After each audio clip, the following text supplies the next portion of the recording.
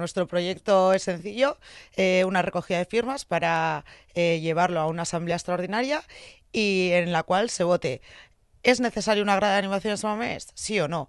Una vez que consigamos el sí, espero, eh, se votará entre el proyecto de la junta, que presente la Junta Directiva y el que proponemos Salmames en Orroa, que es todo el Fondo Norte, 4.000 personas, eh, todos animando, ya que el otro consideramos que se queda pequeño. Tener un campo, un campo de fútbol, una gran animación, es necesaria porque somos el único equipo de toda Europa que no la tiene. ¿eh? La hemos tenido, hemos tenido una afición que, que era eh, incomparable en afición, en participación y a día de hoy no la tenemos. Es necesario aglutinar tanto el fondo que hay hoy en día, bueno, el córner que estamos hay el 110, el gaste abono, todo el mundo que se quiera reubicar y que haya entradas populares para todo el mundo. La pena es que no la tengan los que van a venir por detrás.